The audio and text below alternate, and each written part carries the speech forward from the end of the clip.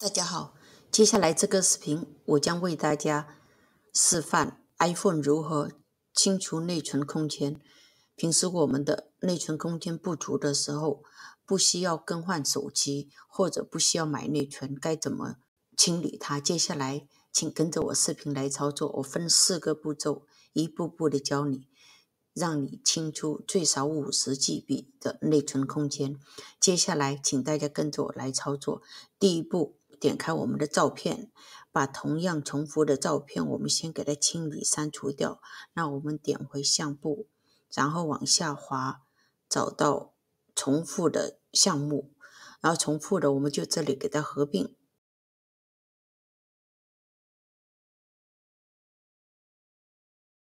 你把所有的照片合并完，包括视频在内合并。第二个步骤，设置。点开我们的设置，然后点开我们的浏览器，然后一直往下滑，把我们的历史记录给它清理掉，因为这里也占很多的内存。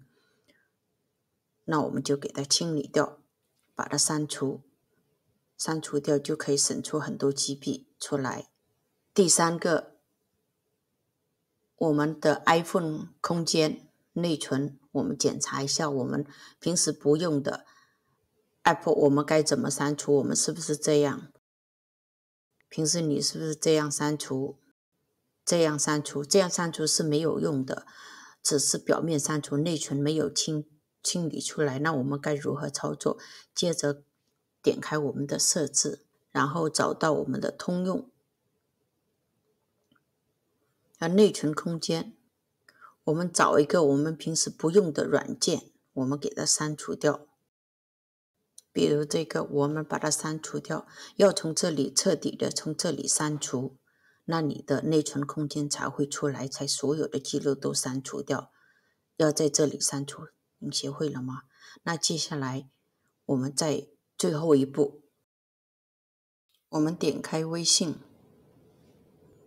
然后点开我。设置点开，然后再点开通用，照片、视频、文件与通话点开，自动下载。第一个我们把它关闭。视频到这，希望我的视频能帮到大家。